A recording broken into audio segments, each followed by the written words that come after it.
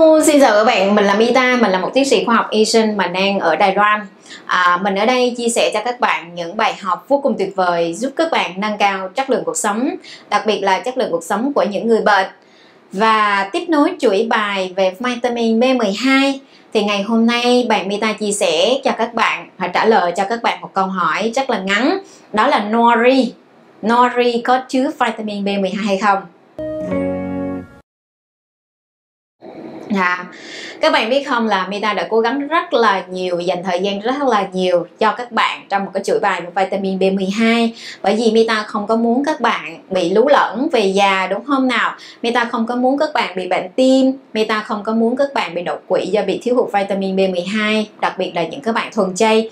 Và đó là lý do Meta dành thời gian rất là nhiều trong quá trình nghiên cứu à, để chia sẻ cho các bạn những cái bài học vô cùng tuyệt vời. Và Meta cũng cố gắng trả lời tất cả những cái câu hỏi của các bạn thắc mắc những các bạn liên quan đến chủ đề vitamin B12 thì đây tiếp tục mà tiếp nối cái câu hỏi đó là nori nori có chứa vitamin B12 hay không?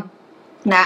ở nghiên cứu năm 2006 thì chỉ ra rằng là nori được tìm thấy có một cái chất tương tự như vitamin B12 nhưng cái chất này ở một cái dạng là dạng không hoạt động.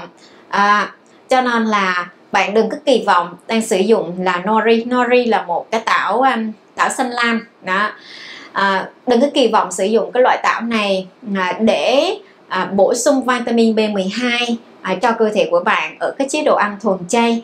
À, bạn à, à, bạn sẽ bị vẫn bị thiếu hụt trong tình trạng vitamin B12 và bạn hãy cần cân nhắc cẩn trọng hơn nữa.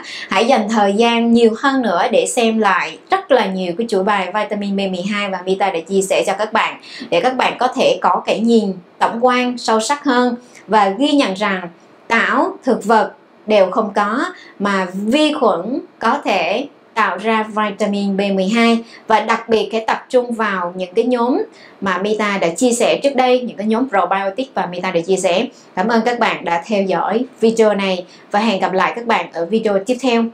Bye bye!